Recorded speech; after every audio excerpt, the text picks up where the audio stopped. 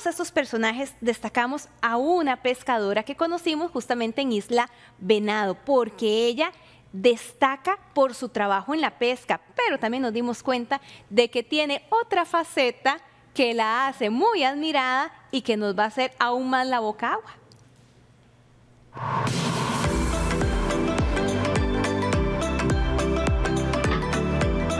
Haciendo lo que más le gusta.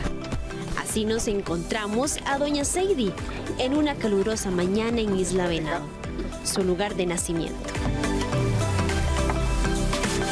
Pesca desde que tiene memoria. Sus padres le enseñaron este oficio cuando era pequeña. Sí, y eso es algo de casi que de toda la vida, que yo soy nativa de aquí, la isla, y eso es lo que aprendí.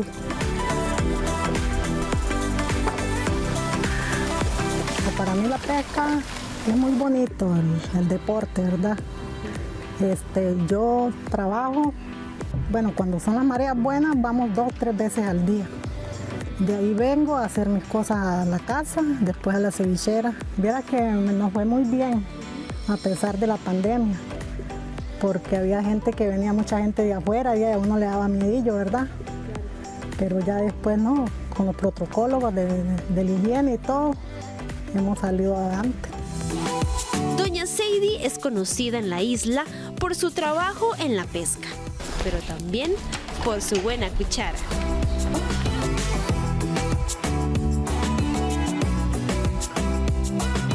Hola, buenas. Les ofrezco un cevichito, yo se los preparo.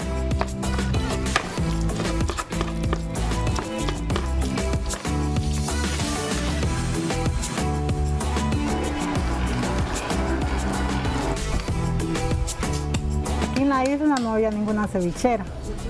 Y yo como lo vendía en mi casa, de ahí se me hacía muy difícil, entonces mejor mi esposo me dijo que hiciéramos un local y poquito a poco, con el esfuerzo de nosotros de estar pescando, y le hemos metido, digamos, bastantito al negocio. ¿Es el mejor entonces aquí? ¿no? Mejor porque es preparado por mí, sacado el pescado por mí.